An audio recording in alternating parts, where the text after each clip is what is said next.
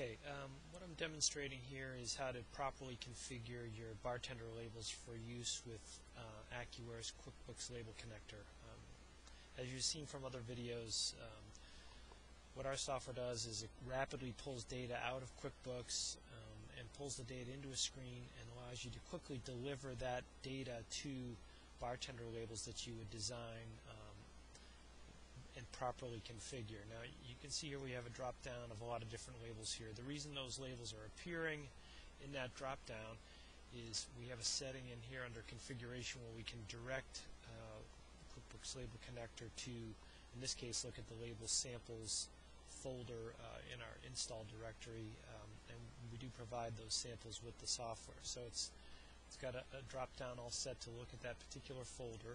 Uh, so that's a one-time setup that gets done, and that installs to look in that folder by default.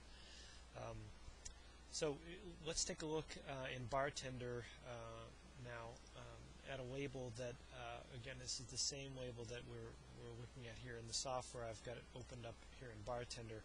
Uh, and, and, as you can see here, you know, there's the directory of all those same sample files that you saw uh, in the label connector. But um, we've got a 4x2 label here that's going to be providing uh, label printing for data out of invoices.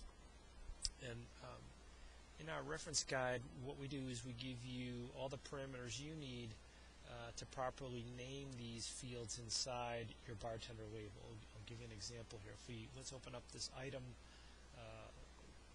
that's supposed to be printing here on the label. Now what I've got here is a multi-part field, so the, just the word item doesn't draw any dynamic data out of uh, QuickBooks, but the actual value is being dynamically driven to this label.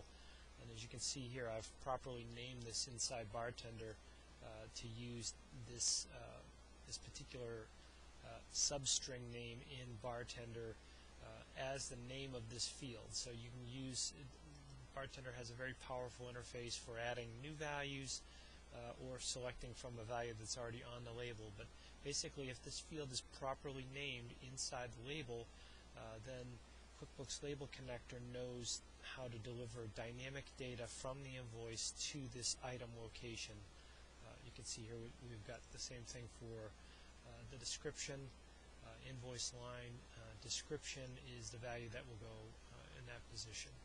Um, as you can see from our uh, user guide, we provide you with uh, information in the user guide as to how to properly name these fields. Uh, in this case, you can see we've got the um, the description, uh, the transaction, which would be the invoice number, transaction date, several fields that are all supported here. And we're continuously adding new fields. Uh, for example, like things like the ship to address uh, off of the invoice is supported as well as well as custom fields uh, from the item uh, can be referenced by that custom field name from QuickBooks. Uh, so that gives you a feel for just how to set up a label properly in Bartender uh, so that it can be configured to uh, drive dynamic data to your label design uh, and then here on how to properly get QuickBooks Label Connector to go ahead and, and use that directory of labels where you're saving your bartender labels. Uh, thanks and hope this help helps you. Talk to you soon.